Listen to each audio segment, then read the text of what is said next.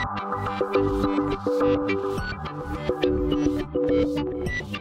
and welcome to my playhouse and today I have an old thing that I've been mislecting. Uh, a while back I changed out the CPUs in my 24-7 server thingy down here and when I did that I got a couple of CPUs left over. A couple of Xeon 56 X5650s. These are 6 cores 2.667 gigahertz. And well I didn't have anything to put them in. That's kind of a nice problem right?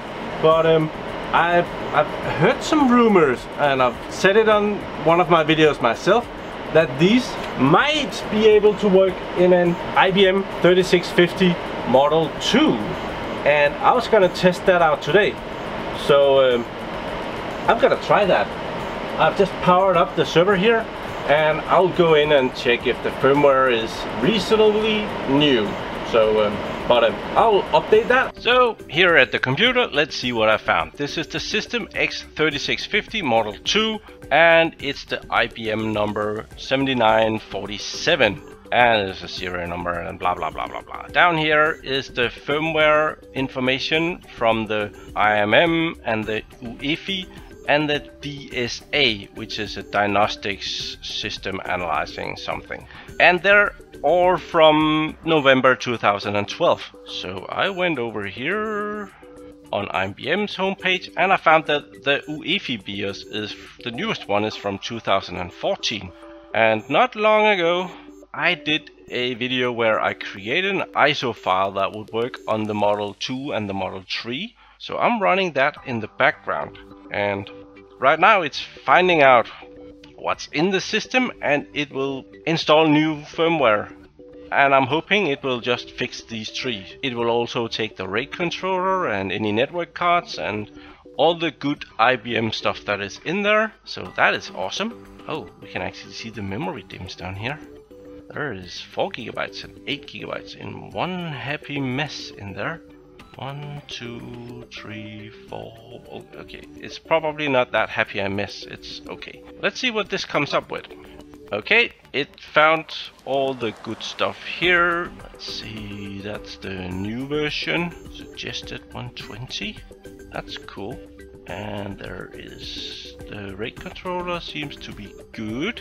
Suggested something for the, the network cards. Okay, a newer version of that and the integrated management module, the IMM, is also being updated. The UEFI software is being updated here and the oh it's the dynamic system analyzer. I thought it was diagnostics. Uh, okay, my mistake. But it's gonna try and update that fully automatically. If you haven't seen that, I have done videos on how to make a bootable CD that will just update all your firmware and drivers on an IBM server. Um, I do recommend watching those. Uh, this is not always that easy to get this up and running, especially if you're trying on an older IBM. There is some glitches there. Uh, more or less, this is brilliant. I haven't touched a finger on this since I mounted it. And I'm connecting to the computer through the integrated management module here. It has this remote console if you haven't seen so, but that makes me able to see the screen. This is exactly what I will be seeing out in the data center. If I turn on the screen, I could do this work from out there, but um, it's my chair is so soft in here, so I rather sit on my flat ass and see it from in here. But this will be updating and I'm doing this because I think there is the biggest chance of the microcode of the new processors to be in the very latest version of the UEFI firmware thingy here. So out here in the data center you can see what I mean. I can see the same thing on the screen here and it's going pretty well. The four, first four thing is successfully installed and it's working on the integrated management module right now and I lose connection to my screen in the comfy chair so I had to go out here and see how it's doing so I'll be waiting for that and the server has to reboot and we will kill it when it's rebooting to uh, try and uh, exchange the processors. And a little later, we are now ready to get on with it. We will go next. And we can finish and we can um, go exchange the processors. And need to boot here. Do you blah blah blah blah blah? Yes. And it will be shutting down. Okay, it has booted. I let it boot because I wanted to make sure that it is still working. And this is a dual CPU and these are the Intel Xeon E5530s and they're 2.4 gigahertz and it has 64 gigs of RAM and a really old version of VMware ESXi 5.1.0 so I will probably have to update that at some point. But I'll turn it off now and um, take it apart.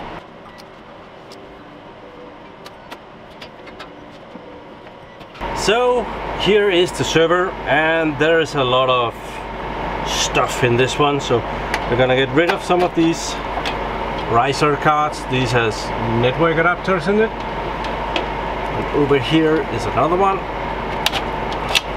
And that one has HBAs in it? Oh, how much is those? 4 gigabit. And we have some plastic mufflers or actually there for the airflow.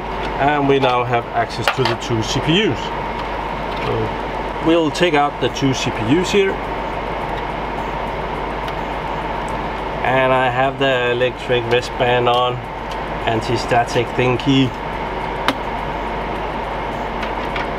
Taking off the heat sinks this is the original IBM compound I can see that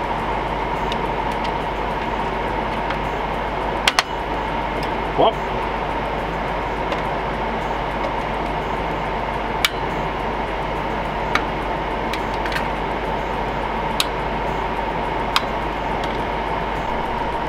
There, the other one.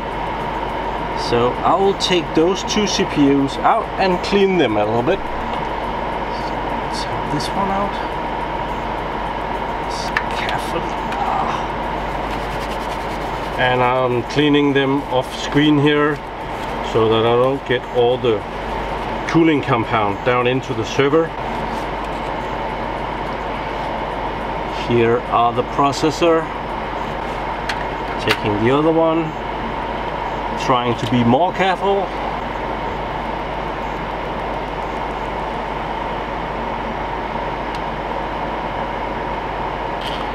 Here are the, the newer ones. Let's just see the two compared. This is the 5600 and this is the 5500 and they're exactly the same size as far as I can see from from right here so 2.4 gigahertz and 2.667 gigahertz right there so let's put this one in it goes this way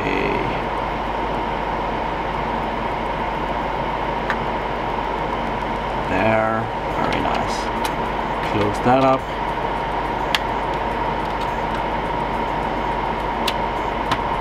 There that's one. The other one is on the second level. So let's pop that in. Um, and be very careful not to drop it on the pins here. If I ruin this socket I think this server is done for it or at least I would have to go out and start searching for another system board for this server. Yeah of course that it would be pretty awesome video exchanging the system board but I don't really want to do it for that reason. So uh, almost. Cool. We need a little bit of cooling compound on the CPUs and I have my way of doing this. That was a lot. That's my way of doing it and these heat sinks they can only go in one way. This lip here has to go under the socket. Probably I'm going to be able to show it better over here.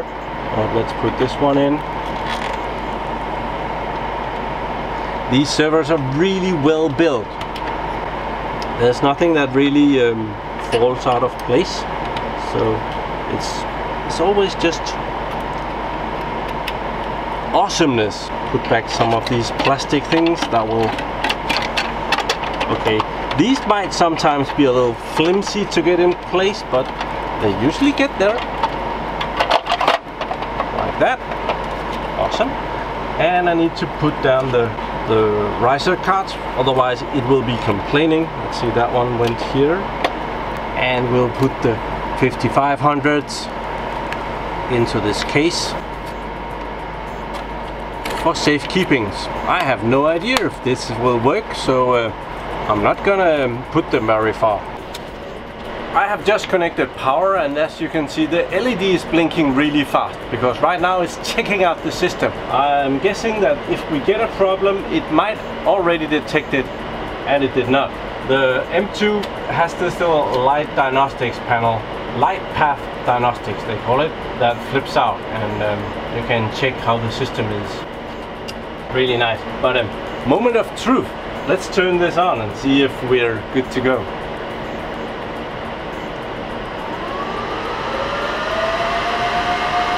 This is gonna be interesting.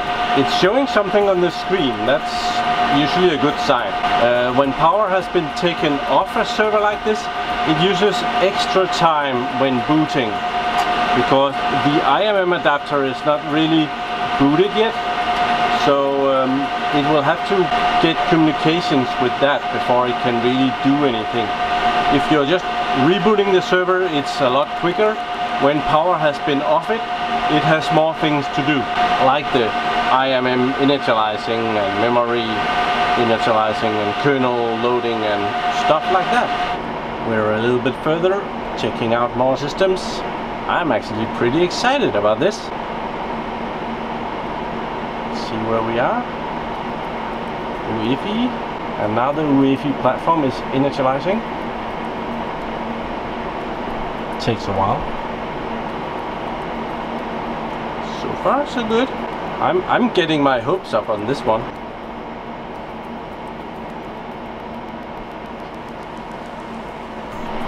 We're not seeing any problems over here. It's not complaining. That one is uh, the one with an AMD graphics card in it and I did a bit of sawing in the PCI Express port and it's uh, not always that happy about that one so um, well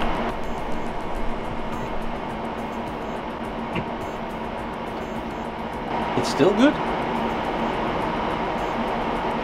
I'm just gonna let it boot. And it's booting. Awesome. Okay, this is so awesome. We are at the computer here. I wanted to show you in here because we can see more stuff. No errors. And down here we can... That's, that's not the right place actually for that. Vital product data. And down here we can see that we have updated the IMM, and that's from this year. And the UEFI is from 2014, and the diagnostic things, dynamic something. Uh, I have no idea why they keep changing that name, but let them on that. That's their problem. But over here, we can see that the ESXi 5.1 is now seeing two other Xeon processors, two Intel Xeon X5650s, and they're 2.6 7 gigahertz. It works! No problem whatsoever. Not even a glitch. It didn't even complain once about having new processors. Really, really weird, um, but fantastic. And I just happened to go on, um, I wanted to see what a server like that cost. I could get a used one for $368 on Amazon. Uh, Amazon is not always the best place for this, so uh, you could go find them cheaper. Let's make a note of that, $370, let's say that. And the processor that I just put in, used, that is about, this one is $55 for a used processor, and this one is 58 So let's just say that's about $110, so that's $480 for a server with 12 cores, hyperthreading, and a maximum of 189 gigabytes of RAM. That's a beast of a server. And this processor is not a bad processor. It gets a really good benchmark. Here is the benchmarks for that CPU, Intel Xeon X5650 2.67 GHz and it scores 7596 that's not bad for a CPU in a server like that. And you have two of them, right? So that's like 15,200 in a $480 server. That was absolutely awesome. I just did the calculations and with changing out those two processors, which cost $110 on Amazon, gave me an increase of CPU performance of 65%. That's a lot. 110 bucks. That's a fair amount of speed for that amount of money. So awesome. Looks better when it's yellow, right? The IBM 3650 Model 2 just increased in value here. It became 65% faster. So go get them, boys! I have my fair share already. One, two, three, four, five, six. Six of them. And I have one that I've lent out maybe go get some eBay auctions and get some good deals on the processors. But uh, well, thank you very much for watching. This was a huge success. Do subscribe so that you can see me again and have a really nice day. Bye bye.